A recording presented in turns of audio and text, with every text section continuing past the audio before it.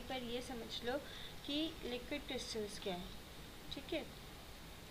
अब आ जाते हैं कि मैंने आपको उस दिन भी बताया था कि हम क्या करते हैं कि जैसे सोप है। ठीक है? इसका बेस्ट एग्जांपल सोप ही है। जब हम सोप को लेते हैं तो सोप को जैसे गीला हो जाता है तो उसको जब भी उठाते हैं तो उसके नीचे का जो सरफेस होता है, वो बड़ा अजीब सा आपका मतलब स्लाइमी सा लेयर हो जाता है। तो वो आपका बेस्ट एग्जांपल है लिक्विड क्रिस्टल्स का। अब लिक्विड क्रिस्टल में क्या कहता है कि भाई लिक्विड क्रिस्टल है क्या? It is a phase which is representing a unique state of matter जिसमें आपका मोबिलिटी भी है और एक मोलिक्यूलर या सुप्रा मोलिक्यूलर लेवल पे मोलिक्यूल्स का ऑर्डर्ड अरेंजमेंट भी है।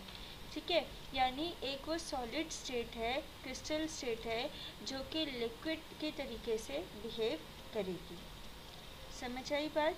अब ये क्या कहता है कि भाई ये जो फेस है ये कैरेक्टरिस्टिक कंडीशंस में ही ये अपियर होता है और इसमें क्या कहता है कि it is intermediate to that of three dimensionally ordered solid and a completely disordered liquid यानी इन दोनों के बीच के लिए कोई स्टेट है जिसमें आपका सॉलिड और लिक्विड प्रॉपर्टीज़ दोनों हैं, पर दोनों की प्रॉपर्टीज़ का इंटरमीडिएट मतलब इंटरमिंगल्ड है, ठीक है मिक्सचर है।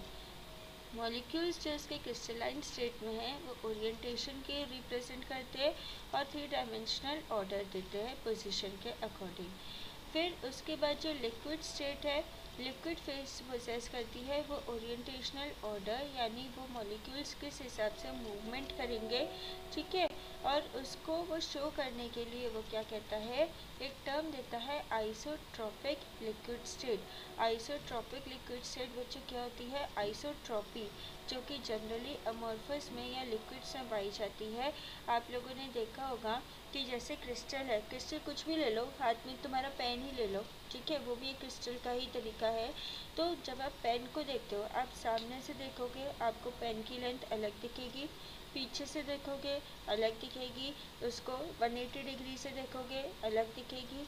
तो हर एंगल से अगर कोई प्रॉपर्टी चेंज होती है, ठीक है तो वो आपका क्या कहलाती है? क्रिस्टल की प्रॉपर्टी होती है सॉलिड की प्रॉपर्टी होती है एनाइसोट्रॉपी लिक्विड में आप किसी भी एंगल से जब कोई लाइट पास ऑन हो रही होती है, वो सब एंगल से एक जैसी, एक समान दिखाई देती है।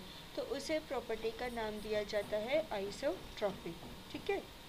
तो क्रिस्टल के जैसा स्ट्रक्चर है पर आइसोट्रॉपिक प्रॉपर्टी है। तो ये आपका क्या कहलाता है? लिक्विड क्रिस्टल को डेफिनेशन क्या देता है वो? एज ओरिएंटेशनली ऑर्डर्ड लिक्विड्स या पोजिशनली डिसऑर्डर्ड क्रिस्टल तो ये आपके पास एग्जैक्ट डेफिनेशन बनती है लिक्विड क्रिस्टल की। ठीक है? अब ये जो लिक्विड क्रिस्टल है ये क्या कहता है कि भाई ये हमारे पास कितने तरीके का क्लासिफाइड होता है? तो क्लासिफिकेशन करते हैं। ये कहता है कि ये जो लिक्विड क्रिस्टल है it can be attain by the action of heat on mesogens और by action of solvent on amphiphilic system अब मेसोजेंस और एम्फीफिलिक सिस्टम क्या है? मेसोजेंस यानी ऐसे कंपाउंड्स जो कि एक बीच का इंटरमीडिएट फ़ेज़ दिखा रहे होते हैं। ठीक है?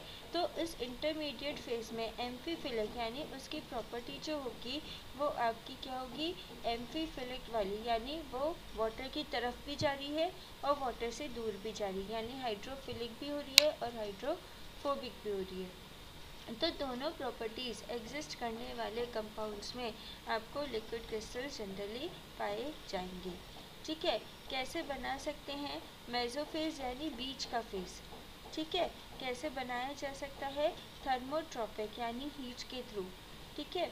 फिर हीटिंग एंड कूलिंग साइमल्टेनियसली करके इनएंशियोट्रॉपिक फिर उसके बाद थर्मोट्रॉपिक मेसोफेज जो कि सिर्फ़ कूलिंग से बनाए जा सकते हैं, वो कहलाते हैं मोनोट्रॉपिक फिर एक टर्म आता है, आपका लायोट्रॉपिक यानी आपका जो कंपाउंड है कंपाउंड के लिए वो क्या कहता है कि भाई आपका जो कंपाउंड को डिसॉल्व करके एक पर्टिकुलर सॉल्वेंट में डाल के पर्टिकुलर कंसनट्रेशन और टेम्परेचर कंडीशंस ला के जो बनाया जाता है वो लायोट्रॉपिक तो मेन आपका कौन सा है? मेन आपका है थर्मोट्रॉपिक थर्मोट्रॉपिक के दो टाइप्स है इलेंचो और monotropic depending on the temperature उसके बाद सेकेंड टाइप आता है आपका लायोट्रॉपिक ठीक है? इसके बाद आपका दूसरा क्या कहता है? कि there are some molecules that exhibit आपका लायोट्रॉपिक फ़ेज़ यानी लिक्विड क्रिस्टल फ़ेज़ जो है under the influence of both heat and solvent यानी एक हीट पे चल रहा था, एक सॉल्वेंट पे चल रहा था, अब दोनों कंडीशन लगा दी। ठीक है? तो उसको क्या कहते हैं? एम्फोट्रॉपिक तो तीन कंडीशन हो गई तीन तरीके के आपके ये बन गए। अब आ जाते हैं नेक्स्ट आते हैं। अब आता है लायोट्रॉपिक पे। लायोट्रॉपिक लिक्विड क्रिस्टल्स जो होते हैं, वो क्या कर रहा है? बन किस रहे हैं? लायोट्रॉपिक यानी हम क्या कर रहे हैं? एक ऐसा मेजोफेस लेकर आ रहे हैं इंटरमीडिएट फेस लेकर आ रहे हैं, जिसमें आपके पास क्या हो रही है? लिपोफिलिक चेन है और पोलर आपके पास हेड ग्रुप है। ठीक है? तो ये क्या कह रहा है कि भाई आपके पास लिपोफिलिक यानी लिपिड वाली लिपोफिलिक है बच्चों हाइड्रोफिलिक नहीं है, सिर्फ़ फिलिक टर्म देख के गलत मत कर देना। लिपो फिलिक यानी लिपो, यानी आपके पास ऑर्गेनिक ग्रुप के अटैचमेंट वाली चेन है, यानी ऑर्गेनिक चेन है, ठीक है? और पोलर आपका हेड ग्रुप है, जैसा नॉर्मली हमारा सर्फेक्टेंट टाइप का स्ट्रक्चर होता है। इसीलिए मैंने एग्जांपल आपको सोप का दिया था, ठीक है? तो टेल जो है, वो एल्काइल चेन है, ठीक है?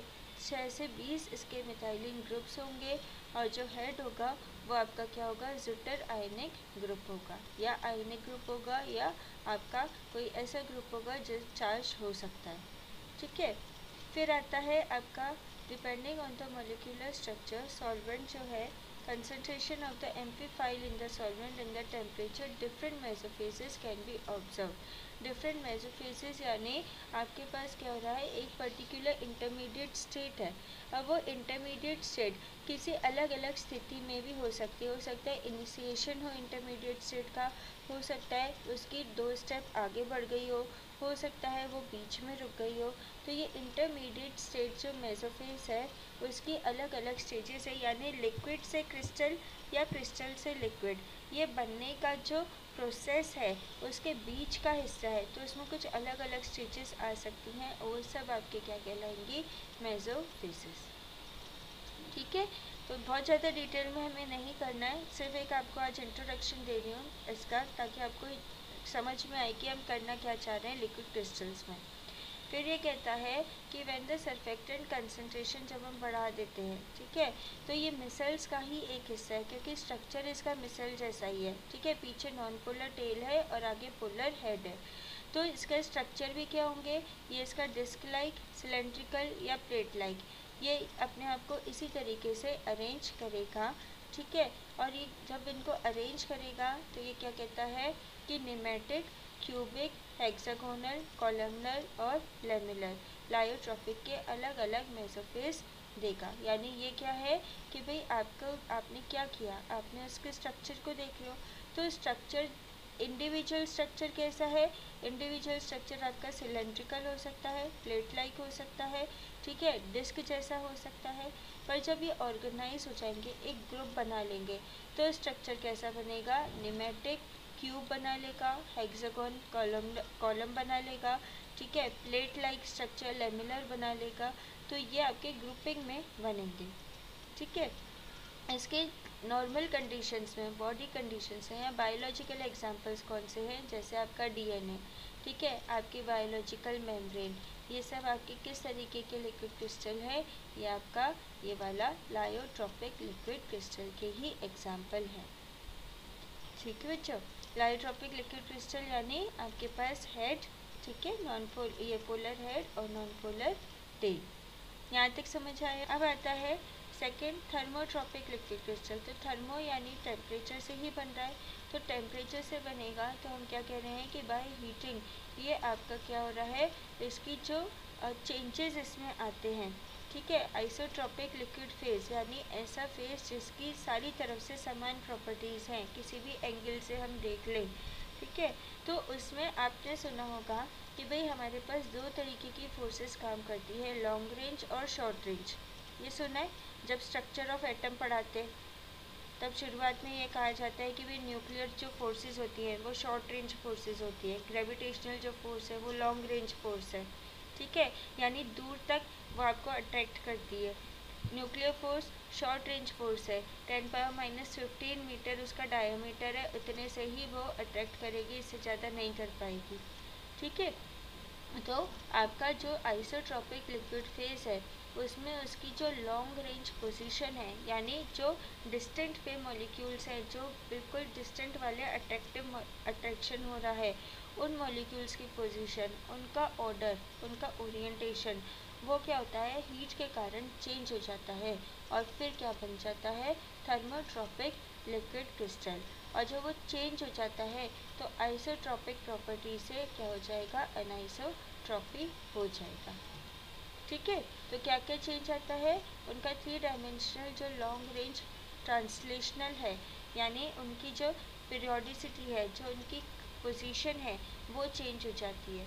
ठीक है? उनका जो ओरिएंटेशन है, जो अंदर का मॉलिक्यूल होता है, वो बाहर चला जाता है, जो बाहर की रेंज होती है, जो टेल होती है, वो अंदर आ जाती है। ठीक है? तो ये आपका क्या कहलाता है? आपका थर्मोट्रॉपिक लिक्विड क्रिस्टल उसके बाद आ जाते हैं, इसमें एक टर्म आएगा आपका, यहाँ पे, ये वाली लाइन ये इम्पोर्टेंट है क्योंकि ये आपके इस टॉपिक से रिलेट करेगी जो आपके सिलेबस में दिया हुआ है। The orientational order arises from the parallel alignment of the anisometric molecules तो ओरिएंटेशनल ऑर्डर जो है ओरिएंटेशन है, यानी उनके खड़े होने की स्थिति, ठीक है? उनकी जो पोजीशन है, वो अराइज करती है from the parallel alignment parallel यानी पॉइंट टू पॉइंट ठीक है? एक दूसरे के पैरेलल अरेंजमेंट है। किसका है? एनाइसोमेट्रिक मॉलिक्यूल्स का, यानी उन क्रिस्टल्स का लिक्विड क्रिस्टल्स का। A positional order is mainly the consequence of specific attractive force. तो अट्रैक्टिव फोर्स अभी कर रहे थे लॉन्ग रेंज भी होती है शॉर्ट रेंज भी होती है। तो वो अट्रैक्शन फोर्स जो है, वो उनके पोजीशन को कंट्रोल करेगी और अलाइनमेंट जो है, वो उनका ओरिएंटेशन को कंट्रोल करेगी। ठीक है? मतलब कंफ्यूज होने की ज़रूरत नहीं है। ओरिएंटेशन यानी वो कैसे खड़ा है? सिर के बल खड़ा है कि किसी के साथ खड़ा है, कि आगे खड़ा है, कि पीछे खड़ा है? ठीक है?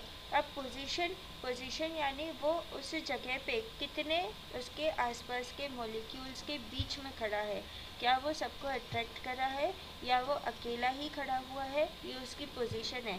क्या वो पॉइंट नंबर वन पे था या पॉइंट टू पे पहुँच चुका? ये उसकी पोजीशन है। तो पॉइंट टू पे जब वो पहुँच चुका तो वो कैसा हुआ? क्या उसने अपने आप को 180 डिग्री रखा या 90 डिग्री रोटेट कर दिया? वो उसका ओरिएंटेशन है। ठीक है? तो अब ये कहता है कि इस तरीके के मॉलिक्यूल्स में परमानेंट डाइपोल मोमेंट्स, उसमें एंड द मैग्नीट्यूड यानी उनका कितना वैल्यू आएगी। ठीक है? और the anisotropy of the molecular polarizability ये दोनों आपके थर्मोट्रॉपिक लिक्विड क्रिस्टल्स का एक इंपॉर्टेंट हिस्सा है, जो कि आपको इलेक्ट्रिकली कंडक्टिव पॉलीमर्स देगा। ठीक है? तो ये हिस्सा जो है लिक्विड क्रिस्टल के इसमें थर्मोट्रॉपिक वाले में, ये हमें काम आएगा जब हम अभी आगे थर्मोट्रॉपिक लिक्विड क्रिस्टल्स वो इलेक्ट्रिकली कंडक्टिव लिक्विड क्रिस्टल्स पढ़ेंगे। फिर आता है कन्वेंशनल लिक्विड क्रिस्टल कन्वेंशनल यानी आपका जो शेप बन रहा था मिसल्स का, जैसे रॉड जैसा, ठीक है? जैसे डिस्क जैसा सर्कुलर ये सब क्या है? ये आपके एक कॉमन नाम इनको दिया जाता है कैलामेटिक्स एंड डिस्कोटिक्स कैलामेटिक्स यानी रॉड जैसा स्ट्रक्चर डिस्क जैसा स्ट्रक्चर यानी डिस्कोटिक्स तो ये कहता है कि भाई शुरुआत में जो डिस्क जैसे स्ट्रक्चर थे, गोल वाले, उनको भी रॉड शेप का ही माना गया था। फिर बाद में इनको पता लगा और डिटेल में जब स्टडी की कि भाई ये दोनों अलग अलग स्ट्रक्चर्स हैं और अलग अलग तरीके से एग्जिस्ट करते हैं। बाकी ये कुछ नहीं करना रिजिड कोर और ये छोड़ दो इसको। तो ये आपके कहलाते हैं कन्वेंशनल वाले, क्योंकि शुरुआत में रॉड लाइक और डिस्क लाइक स्ट्रक्चर ही देखे गए थे। अब बाद में हुआ नॉन कन्वेंशनल नॉन कन्वेंशनल यानी इन्होंने क्या किया कि बाद में जैसे इनका अलग अलग शेप और आए अलग अलग शेप कौन से आए कि जो कि, जो भी रॉड लाइक या डिस्क लाइक नहीं थे, जो कि ट्यूब्यूलर थे लेमुलर थे प्लेट वाले थे, वो सब किसमें आ गए? नॉन कन्वेंशनल में। क्योंकि ये बाद में डिस्कवर किए गए या बाद में उनको चेंज करके रॉड लाइक को या डिस्क लाइक को चेंज करके बनाया गया। ठीक है? तो ये आपका दो तरीका है depending on the order of the discovery ठीक है? फिर इसमें कुछ नहीं करना है मेसोफेज मॉर्फोलॉजी और कैलेमेटिक लिक्विड क्रिस्टल में, ये सिर्फ़ आपको यही बताएगा कि वे केमिकल स्ट्रक्चर और शेप जो है कॉन्स्टिट्यूएंट का, ये आपके लिक्विड क्रिस्टल को यहाँ पे क्या करता है, बहुत ज़्यादा इफ़ेक्ट करता है। ठीक है? तो mesomorphism of the discotic molecule और डाइमर्स जो है। वो आपका क्या है? पहला जो आप इसमें पढ़ोगे, वो पढ़ोगे कैलेमेटिक लिक्विड यानी आपका रॉड शेप और कौन सा आ जाएगा? डिस्क शेप अब ये जो है रॉड शेप और डिस्क शेप ये तीन तरीके का होता है निमेटिक कोलेस्टेरिक और स्मेक्टिक ये टर्म बच्चों आपके इम्पोर्टेंट है, क्योंकि ये वाले जो तीन टर्म्स हैं ये टर्म्स आपके नेट वाले एग्ज़ाम में भी वो पूछता है। विथ एग्ज़ाम्पल पूछ लेता है कभी कभी तो निमेटिक फ़ेज़ जो होता है निमेटिक में वो क्या कहता है कि सबसे सिंपल फ़ेज़ निमेटिक होता है और आइसोट्रॉपिक फ़ेज़ जो है जस्ट उसके साथ में ही ये अकर करता है, ठीक है? तो इसकी जो विस्कोसिटी है, उस आइसोट्रॉपिक से, यानी ये सोच लो कि जब वो जस्ट चेंज करने की स्थिति होगी उसकी आइसोट्रॉपी से एन आइसोट्रॉपी यानी कोई लिक्विड किसी सॉलिड में बदलने की स्टार्टिंग हो रही है, उस वक्त उसकी जो स्थिति होगी, जो कंडीशन होगी, वो निमेटिक फ़ेज़ कहलाएगा। ठीक है? यानी प्रॉपर्टी अभी भी उसमें सारी आइसोट्रॉपी वाली हैं। यानी सब तरफ़ से समान तरीके से, एक तरीके की रिफ्लेक्टिव इंडेक्स हुई प्रॉपर्टी हुई, सब जैसे, एक जैसी ही दिख रही है उसमें। किसी भी एंगल से उसको देखो। ठीक है? तो अब ये कहता है कि इसके जो मॉलिक्यूल्स हैं, उसमें क्या हो रहा है? उनका कोई पोजिशनल ऑर्डर नहीं है। ठीक है? सिर्फ़ उनकी ओरिएंटेशन है, जो वो एक पर्टिकुलर डायरेक्शन में ओरिएंट होते हैं। ठीक है? तो ये आपको एग्जांपल इसी तरीके का देगा कि ये जो निमेटिक है, ठीक है? निमेटिक का इसका एंड फेस का ये स्कीमेटिक रिप्रेजेंटेशन है, जिसमें कहता है कि बस उनकी पोजीशन से वो उनको देख रहा है ओरिएंटेशन से उनको देख रहा है। पोजिशनल ऑर्डर इसमें ना के बराबर है और विस्कोसिटी कैसी है? लिक्विड के ही जैसी विस्कोसिटी है।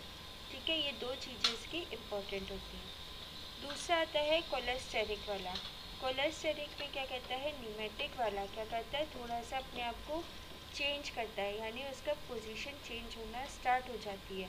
यानी किराइल वेरिएंट या चिराइल वेरिएंट जो भी आप पढ़ते हो। ठीक है? चिराइल मॉलिक्यूल्स क्या होते हैं? क्या होते हैं चिराइल मॉलिक्यूल्स जिसमें एक कार्बन के साथ में चारों वैलेंसी अलग अलग होती हैं। यही होते हैं किराइल मॉलिक्यूल्स ठीक है?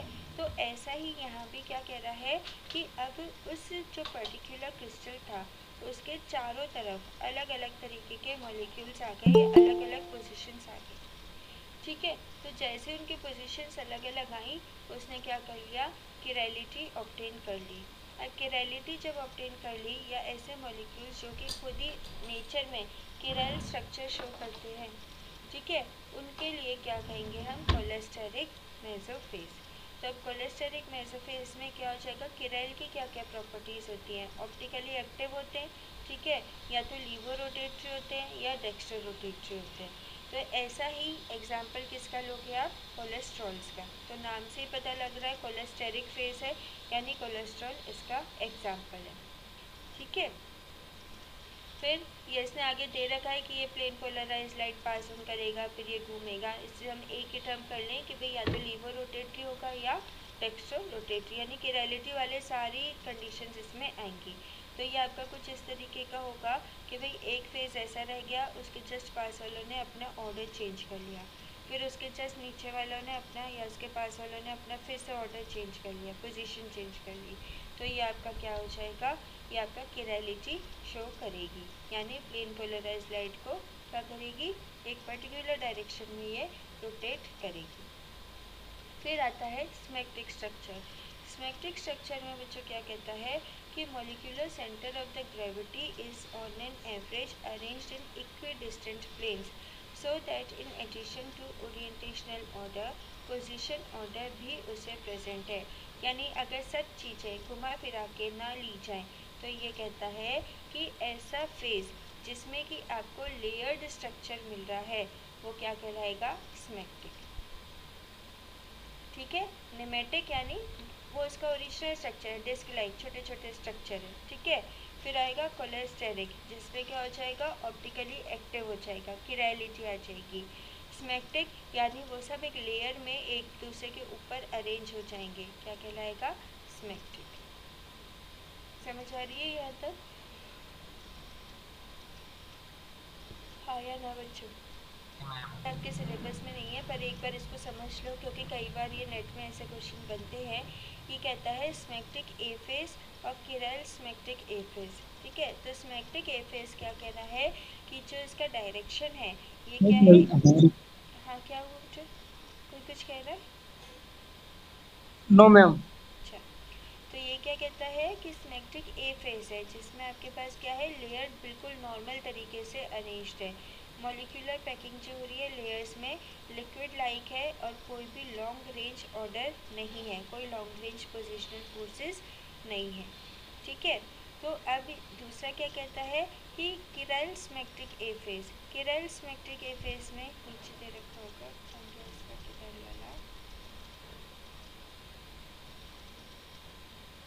यहीं से समझ लेते हैं। हम्म। देखो अब ये क्या कह रहा है कि भाई ये तो आपका क्या है? आपका स्मेक्टिक फ़ेज़ है, ठीक है? स्मेक्टिक ए फ़ेज़ है। स्मेक्टिक ए फ़ेज़ यानी आपके पास क्या हो रहा है? बिल्कुल सीधा सीधा अरेंजमेंट हो रहा है, ठीक है? अब जैसे ही इसका डायरेक्शन थोड़ा सा टिल्ट हो जाता है, क्या बनाएगा ये? एंगल पे इसकी आपने रोटेशन ऑफ़ लाइट जैसे अब आप पता कैसे करोगे कि ये टिल्ट हो गया? भाई, आपको जो लाइट मिलेगी, जो ये रिफ्लेक्ट करेगा, या तो उसका डायरेक्शन क्या होगा? 90 डिग्री होगा, ठीक है? या उसका डायरेक्शन 180 डिग्री होगा। अगर ना 90 हो, ना 180 हो, किसी और एंगल पे जा रहा हो तो क्या बन जाएगा आपका किरेल स्मेक्टिक ए फेस ठीक है? अब ये कह रहा है कि इसकी ज्योमेट्री क्या है? ऑर्थोगोनल लेयर ज्योमेट्री है। ठीक है? किस वाले की है? स्मेक्टिक ए फेस की। स्मेक्टिक किरेल वाले की क्या है? Tilted layer structure. तो ये थोड़ी थोड़ी कुछ चीज़ें हैं जो कई बार वो पूछता है और मतलब नहीं ध्यान होती क्योंकि हम इनको स्किप कर देते तो ये आप लोग थोड़ा सा इसको ध्यान में रखना क्योंकि ये आपको दो दो मार्क के तीन मतलब एक एक दो दो क्वेश्चन एक एक मार्क का भी अगर मिलता है तो पॉइंट्स तो ऐड होते ही हैं, ठीक है? इसके लिए ना सही, पर नेट के एग्ज़ाम के लिए थोड़ी सी चीज़ें हैं जो इम्पोर्टेंट है। फिर स्मेक्टिक सी फ़ेज़ है और उसको डिफरेंस कैसे कहता है कि direction of each layer is inclined at an angle to the normal layer and this angle is being in identical for all the layers तो देखते हैं फिगर वन का 1.8 का ए है, ठीक है? अब ये वाला आ गया। अब ये कहता है कि स्मेक्टिक सी फेस जो है, भाई ये तो नॉर्मल था। नॉर्मल से थोड़ा सा टिल्टेड हुआ, वो क्या हो गया? किरण। और ज़्यादा टिल्ट्रेशन हो जाता है तो वो क्या बनाएगा? स्मेक्टिक सी फ़ेज़ और स्मेक्ट्रिक सी फ़ेज़ में किरैलिटी जब आ जाती है तो वो क्या देगा? स्मेक्टिक सी का किरैल मेजोफेज तो देखो स्मेक्ट्रिक सी वाले के ऊपर जहाँ स्टार लगा है तो वो किरैल स्मेक्ट्रिक सी है और नहीं लगा है तो नॉर्मल लेयर जो नॉर्मल लेयर बन रहा है, वैसा ही है। ठीक है? फिर आता है किरैल का फ्रस्ट्रेटेड फ़ेज़ अब फ्रस्ट्रेशन तो इससे तो हमें भी पता है कि भाई फ्रस्ट्रेशन क्या होता है। जब दिमाग की बिल्कुल बत्ती गुल हो जाती है है ना? तो क्या होता है, हम कंफ्यूज हो जा कंफ्यूज का मतलब ओवरवेलम्ड हो जाते हैं। ठीक है? ओवरबर्डनड हो जाते हैं। तो ये क्या कहता है कि जब किरैलिटी बहुत हद से ज़्यादा इसको मोलिकुलर सिमेट्री को रिड्यूस कर देती है तो आपका ये जो मेसोमॉर्फिक बिहेवियर है, जो ये दोनों लिक्विड और क्रिस्टल दोनों की तरीके से बिहेव कर रहा है, उसमें मॉडिफिकेशन हो जाता है। तो किरैल मॉलिक्यूल्स क्या करते हैं? वो पैक हो जाते हैं एक पर्टिकुलर स्ट्रक्चर में, ठीक है? और उस स्ट्रक्चर में उनकी कॉन्स्टेंट वहीं पे वहीं पे सेटल हो जाते हैं। तो ये आपका कहलाता है किरैल फ्रस्ट्रेटेड फ़ेज़ यानी क्या हुआ कि हम इसको ऐसा सोच लें कि भाई मॉलिक्यूल है। बार बार बार बार वो अपना एंगल चेंज कर रहा है। तो फाइनली क्या हुआ? उसकी किरैलिटी इतनी ज़्यादा होगी कि मॉलिक्यूल फ्रस्ट्रेट हो गया और उसने एक पर्टिकुलर कांस्टेंट स्ट्रक्चर की। अब तो मैं हिलूँगा ही नहीं स्ट्रक्चर से। ऐसा वाला स्ट्रक्चर उसने ऑप्टेन कर लिया। वो कहलाता है किरैल फ्रस्ट्रेटेड फ़ेज़ ठीक है? अब इसमें भी आपका एक टर्म है ब्लू फेस ब्लू फेस के लिए क्या कहता है? देख लेते हैं। ये कहता है कि ब्लू फेस के लिए वो जनरली ऐसे नहीं पूछेगा, वो आपको एक डेफिनेशन दे देगा। तो वो कहेगा कि व्हाट इज़ ब्लू फेस क्या ब्लू कलर है उसका? या क्या है? तो वो ये कहता है कि भाई, ये एक थर्मोडाइनमिक फ़ेज़ है जो कि एक पर्टिकुलर टेम्परेचर रेंज में किरल नीमेटिक और आइसोट्रॉपिक लिक्विड्स के बीच में बनता है और जिसकी जो पिच है या जिसकी जो वेवलेंथ है, वो कितनी आती है? Less than five thousand angstrom ठीक है? किसके लिए बनता है? ये रॉड लाइक मैसेजेंस के लिए या फिर किरैल ये ए किरैल और किरैल यानी ऑप्टिकली एक्टिव और इनएक्टिव दोनों के स्ट्रक्चर्स के बीच का ये स्ट्रक्चर है तो नाम क्या कहलाता है? ब्लू फेस ठीक है? कैसे दिखेगा? कैसे दिखेगा? क्योंकि हम देख तो रहे नहीं है। तो ये कहता है कि भाई इसमें हुआ क्या कि स्ट्रक्चर ने किरैलिटी से ए किरैलिटी या ए किरैल से किरैलिटी में चेंज होना शुरू किया। तो कहीं ना कहीं वो बीच में क्या हुआ? फ्रस्ट्रेट हो गया उसका स्ट्रक्चर वही कांस्टेंट हो गया। अब ना तो वो पूरी तरीके से किरैल है, ना वो पूरी तरीके से ए किरैल है। तो उस वक्त जो स्थिति होगी, वो कहलाएगी आपकी ब्लू फेस तो ये क्या कहता है? ब्लू फ़ेज़ नाम क्यों पड़ा इसका? The naming of these phases as blue is due to the Bragg reflection in the blue wavelength तो ब्लू वेवलेंथ कहाँ पर आ जाएगी बच्चों? Less than five thousand angstrom तो ब्लू वेवलेंथ वैसे भी हमारे वेबग्योर का ही रीजन है। ठीक है? इसीलिए नाम क्या पड़ा इसका? ब्लू फेस ब्लू कलर की वेवलेंथ को ये क्या करता है? रिफ्लेक्ट करता है। अब एक टर्म आता है आपका twisted grain boundary phase twisted grain boundary phase अब इसको ऐसे समझो कि क्रिस्टल जो स्मेक्टिक क्रिस्टल है, यानी जो लेयर वाला क्रिस्टल है, वो ए फेस में है। अब वो क्या कर रहा है? वो अपने आप को पूरी तरीके से सी के, वो भी किरैल वाले फ़ेज़ में चेंज कर रहा है। तो जब ये अपने आप को चेंज करेगा ए से सी वाली कंडीशन में, ठीक है? तो उस वक्त क्या होगा, इसके जो मॉलिक्यूल्स हैं, इसके जो पैकिंग जो स्ट्रक्चर है, उस लेयर में से कुछ कुछ स्ट्रक्चर क्या करते हैं बाउंड्री के ऊपर अरेंज हो जाते हैं।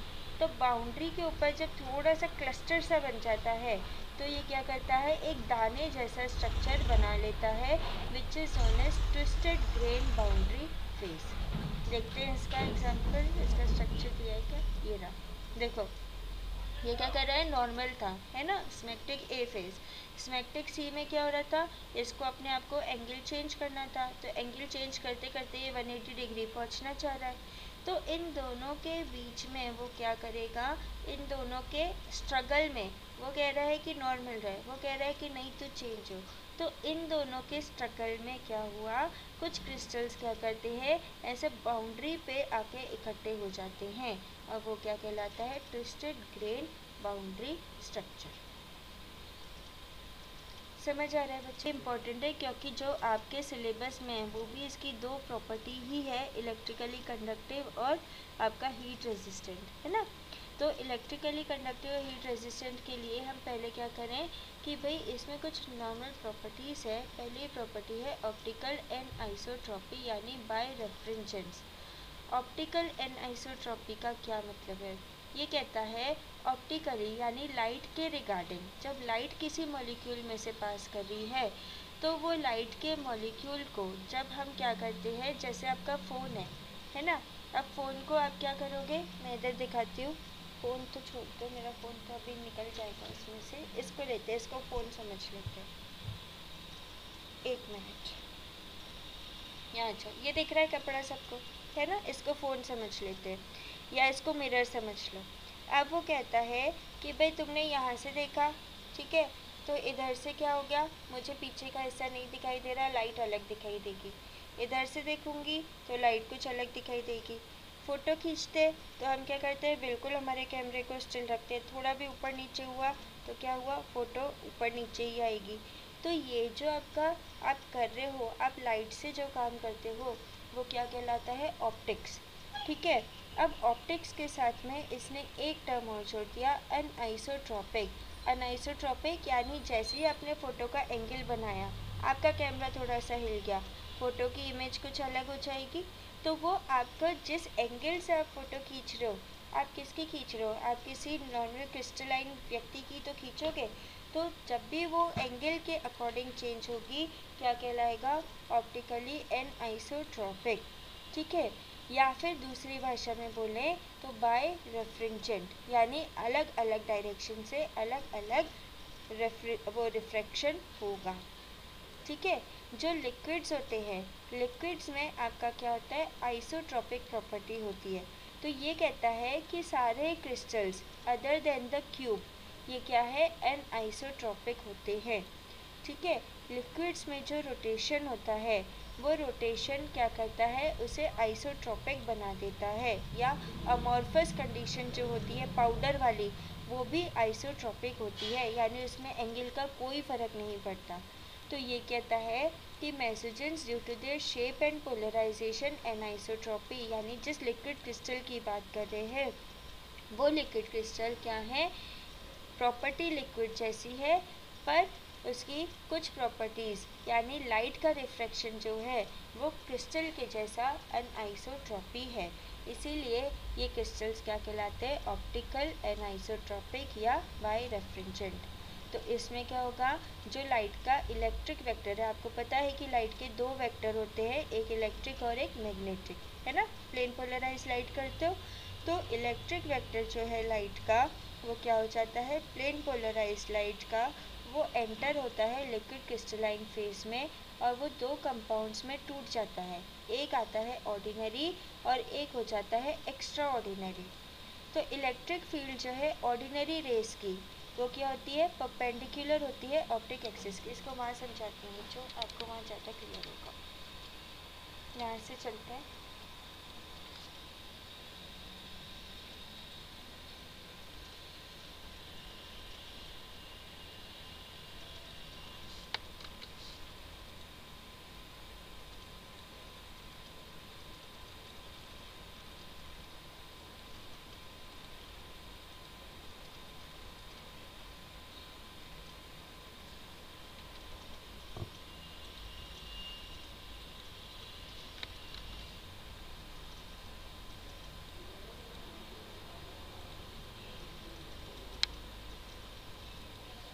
देखो, ये कहना क्या चल रहा है, इसकी दोनों बात समझते हैं। यहाँ तक तो हमें समझ में आ गया कि भाई जब कोई लाइट है लाइट क्या होती है, उसके दो वेक्टर होते हैं इलेक्ट्रिक और मैग्नेटिक वेक्टर है ना? अब ये क्या कहता है कि भाई जो इसका इलेक्ट्रिक वेक्टर है इलेक्ट्रिक वेक्टर क्या करता है? जब इसको इलेक्ट्रिक मान लेते हैं ना तो जब ये किसी मॉलिक्यूल लिक्विड क्रिस्टल के ऊपर पड़ता है तो ये दो हिस्सों में टूट जाता है। एक आता है ऑर्डिनरी और एक आता है एक्स्ट्रा ऑर्डिनरी ठीक है?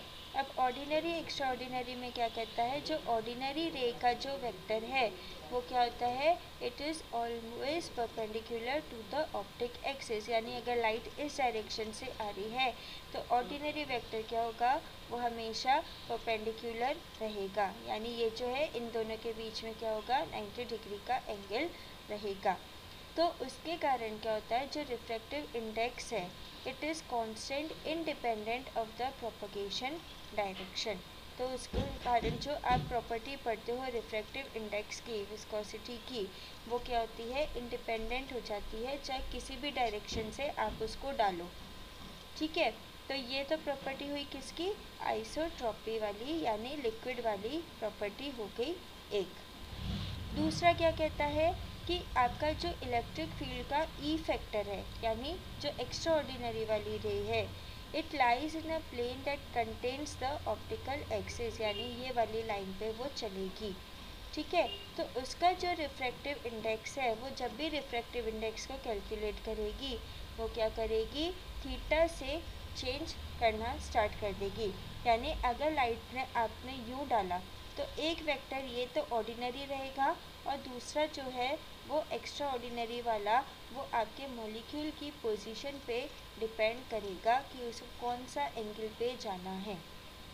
यहाँ तक समझ आ हो जाएगा, क्योंकि दोनों ही एक दूसरे के साथ है। एक ही तो रे का पार्ट है तो ये दोनों आपस में मिक्स होंगी। इनके बीच में होगी इंटरफेरेंस ठीक है? और जब ये इंटरफेरेंस होगी तो जो उसकी टेंडेंसी है इंटरफेरेंस की, वो आपको क्या करेगी? कलरफुल अपियरेंस देगी। ठीक है? तो वो जो कलरफुल अपियरेंस दे रही है, वो क्या है आपकी? बाय रेफ्रिजेंस ठीक है? फिर दूसरी प्रॉपर्टी पे आते हैं।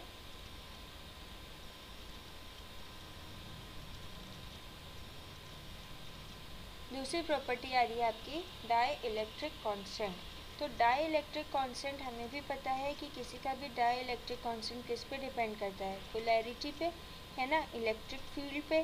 तो इलेक्ट्रिक फ़ील्ड का जो मैग्नीट्यूड है, वो किस पे डिपेंड करता है? डाई इलेक्ट्रिक परमिटिविटी पे, यानी एप्सिलॉन पे। एप्सिलॉन क्या है?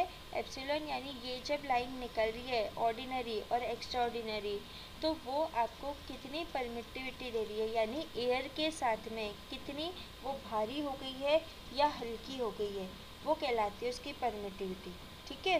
तो वो परमिटिविटी उसकी डिपेंड करती है कि वो कौन सी वाली रे निकल रही है और किसके कारण निकल रही है। एयर में निकल रही है तो वो आपका मटेरियल मटेरियल से क्रॉस करके एयर में आएगी और ओरिजिनली हम किसको कैलकुलेट करते हैं विद रिस्पेक्ट टू एयर तो ये जो आपका इक्वेशन है epsilon equals to C mat upon C vacuum यानी सी जो भी आपकी एयर है, उसकी कैपेसिटेंस है, उसकी permittivity in the material with respect to that in the vacuum तो ये कहता है कि dielectric constants measured along the three axis जो एक्स वाई जेड एक्सेस है, ठीक है? उस पर जब करोगे तो वो ज़ीरो आएगी। इन बिटवीन द एक्सेस करोगे तो वो आपको डाइपोल मोमेंट्स शो करेगी। फिर आता है इलास्टिक कॉन्स्टेंट्स इलास्टिक कॉन्स्टेंट्स यानी इलास्टिसिटी इलास्टिसिटी को आप सिर्फ़ ऐसे समझ लो कि these are molecular parameters which describe the restoring force on a molecule यानी आपका मॉलिक्यूल कितने स्ट्रेंथ तक उसमें वो तार जब आप सोप उठाओगे ना तो कितनी स्ट्रेंथ तक तार बनता है? तो वो उसकी क्या है? इलास्टिसिटी ठीक है? फिर विस्कोसिटी यानी उसकी थिकनेस ठीक है? उसके बाद आ जाते हैं उसकी डिस्प्ले एप्लीकेशंस डिस्प्ले एप्लीकेशन इसकी एप्लीकेशंस है बच्चों, जो आपके लिक्विड क्रिस्टल्स है। इसकी एक खास प्रॉपर्टी क्या है कि ये पतली पतली फिल्म्स में कन्वर्ट करके ऑप्टिकल प्रॉपर्टीज़ के कारण ये क्या करते हैं, ये आजकल डिस्प्ले एप्लीकेशंस यानी एलसीडी ठीक है? ये आपका एलईडीज़ ये उनमें यहाँ पे अप्लाई किया जाता है। यानी उनको, उनके ये मतलब एक इंपॉर्टेंट पार्ट बन गया है उनके स्ट्रक्चर में। टेम्परेचर सेंसर क्योंकि टेम्परेचर के साथ में ही अपना कलर चेंज करते हैं। वो ब्लू फ़ेज़ वाला जो अभी स्टडी करी थी तो वो क्या है? आपका निमेटिक क्रिस्टल से क्या कर रहे हैं? वो अपने आप को वहाँ पे अरेंज करते हैं। तो उसके कारण क्या होता है? ब्लू फ़ेज़ क्लियर वहाँ पे क्रिएट होता है। तो ये टेम्परेचर सेंसर के तौर पे काम में आता है। इसमें कोलेस्टेरिक लिक्विड क्रिस्टल्स क्या बनाते हैं? फीवर स्ट्रिप्स ठीक है? तो फीवर स्ट्रिप्स वैसे हमारी तो क्या आती है? हम तो थर्मामीटर ही लगाते तो इंडिया में तो इतना भी डेवलपमेंट है नहीं। पर जो लोग काम करते हैं, वो लोग क्या करते हैं? इसको फीवर की स्ट्रिप्स यानी टेम्परेचर रिकॉर्डिंग स्ट्रिप्स बनाते हैं। ठीक है? फिर आता है कॉलमनर फ्लूड फेस अब ये जो आपका मॉडर्न एप्लीकेशन है, इस वाले में आपका वो हिस्सा आएगा, जहाँ पे हम इसको डिटेल में और करेंगे कि ये इलेक्ट्रिकली कंडक्टिव भी होते हैं। भाई जब ये ऑप्टिकल है ठीक है, जब इसमें इलेक्ट्रिक प्रॉपर्टी है परमिटिविटी है तो ये क्या करेगा? ये कंडक्टिव प्रॉपर्टी भी शो करेगा। तो कंडक्टिव प्रॉपर्टी डिपेंड करेगी इनके ऑर्डर पे, इनके स्ट्रक्चरल डिफेक्ट्स पे, इनकी क्रिस्टलाइन क्रिस्टलाइनिटी पे, इन सब पे डिपेंड करती है। ठीक है? तो ये आपका एक क्रक्स है, जो कि आज की क्लास में इसको करवाया मैंने। अब नेक्स्ट क्लास में फिर मैं आपका वो वाला हिस्सा स्टार्ट करा दूँगी।